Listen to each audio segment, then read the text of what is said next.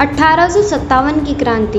90 साल पहले ही आज़ाद हो गया था प्रयागराज। फिर कैसे बना गुलाम? जानिए यहाँ। ब्रितानिया हुकूमत में जब जब यह नाम लिया जाता है तो अंग्रेज़ काँप उठते हैं। कौशाम्बी के महगांव निवासी क्रांतिकारी मौलाना लियाकत अली खान की नाम की अंग्रेज़ों में काफ़ी दहशत थी। वर्ष अठारह में क्रांतिकारियों की अगुवाई करते हुए मौलाना ने इलाहाबाद की सदर तहसील पर कब्जा कर लिया। कई अंग्रेज़ मारे गए थे और आधे से ज़्यादा भाग गए थे। पूरी रियासत पर कब्जा करने के बाद 7 जून अठारह से 17 जून अठारह तक करीब 11 दिनों तक मौलाना ने अपनी सरकार चलाई थी। एबीवी के मध्यकालीन व आधुनिक विभाग के इतिहास के प्रोफेसर योगेश तिवारी ने बताया कि अठारह में जब हिंदुस्तानियों ने अंग्रेज़ों के खिलाफ बगावत का बिगुल बजाया और अवध में इसे ज़ोर शोर से आगे बढ़ाया जा रहा था, उस वक्त बगावत की लपटें प्रयागराज और उसके आसपास के इलाकों में भी पहुँच चुकी थी। हालाँकि प्रयागराज में बगावत की आवाज़ वहाँ के पंडों ने उठाई थी, पर इलाहाबाद के अवाम ने इस जंग में कवायद के लिए मौलवी लियाकत अली को चुना।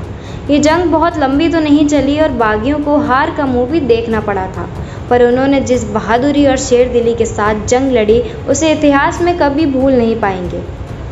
दोनों ओर से बनी रणनीति।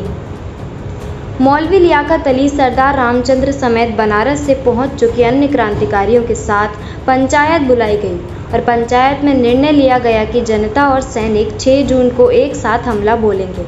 अंग्रेज़ों को पता चल चुका था कि बनारस से भी आ रहे हैं क्रांतिकारी भी, किले पर हमला बोल सकते हैं। ऐसे में किले की सुरक्षा और कड़ी कर दी गई।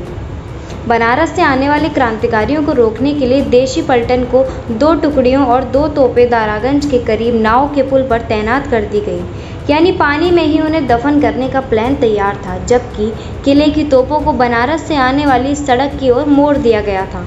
इसके अलावा शहर की ओर अलोपीबाग में देशी सवारों की दो टुकड़ियाँ तैनात हुई और, और किले में पैंसठ तोपची 400 सिख घुड़सवार और पैदल सैनिक तैनात कर दिए गए थे। बलिदानियों की याद में बनी डिजिटल गैलरी।